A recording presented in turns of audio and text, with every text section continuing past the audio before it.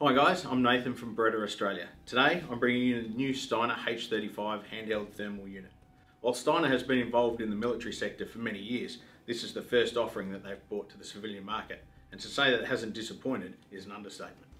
Featuring Steiner's legendary quantum vision, they have been able to produce a unit that is the leader in its field. So what does Steiner's quantum vision deliver to you, the user?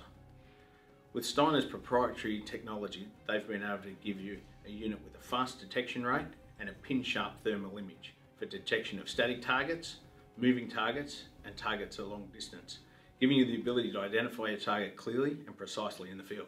Steiner have also equipped this unit with the best resolution sensor on the market, at 640 by 512 resolution and also with a pitch sensor of 12 microns it gives you a unit that will deliver both day and night time after time. The Steiner H35 also comes with a bus ton of other features.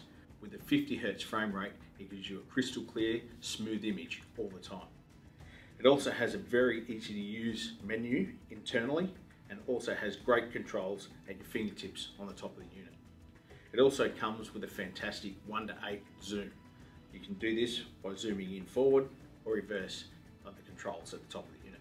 The unit also comes with image enhanced scene mode, hotspot tracking, picture in picture or PIP as it's known for short, and six different colour palettes depending on which one you choose. The H35 also boasts a massive 16 gig memory life built into the unit, so plenty of storage for all of your times in the field.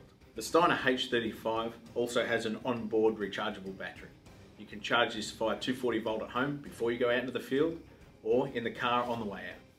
If you're out in the field and you're starting to run low on battery life, you can plug a USB in to a power pack and you'll be right to go.